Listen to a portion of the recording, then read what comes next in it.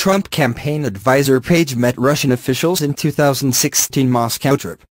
Carter Page, an advisor during Donald Trump's presidential campaign, met Russian government officials during a trip to Moscow, according to testimony to the House Intelligence Committee earlier this week. Page confirmed the meetings to the New York Times in an interview Friday night and then spoke with CNN. After the trip, the foreign policy advisor sent an email to at least one Trump campaign aide. He detailed his conversations with government officials, legislators and business executives from his time in Moscow, according to a Times source familiar with the email. During the closed-door House testimony Thursday, the email was read aloud.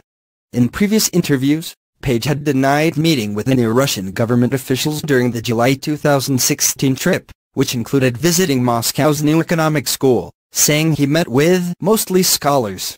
On Friday, he told the Times that I had a very brief hello to a couple of people. That was it. He said one person was a senior person, but he would not reveal the person's identity. Page, who left the Trump campaign not long after the trip, has been questioned by the FBI and has also appeared before a grand jury as part of the special counsel Robert Mueller's inquiry.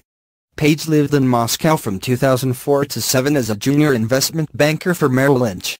Since leaving the campaign, he has started his own investment firm, Global Energy Capital, and is working on some deals with Russian businessman Sergei Yatsenko. During an interview with CNN's Jake Tapper before the New York Times and CNN reports, Page confirmed that before going on the trip he mentioned his travel plans to travel to then Sen. Jeff Sessions and a few people on the Trump campaign.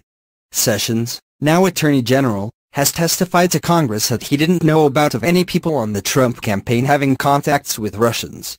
Court records unsealed Monday indicated another campaign advisor, George Papadopoulos, met in 2016 with Russians who said they had connections to the government and had dirt on Democratic presidential candidate Hillary Clinton.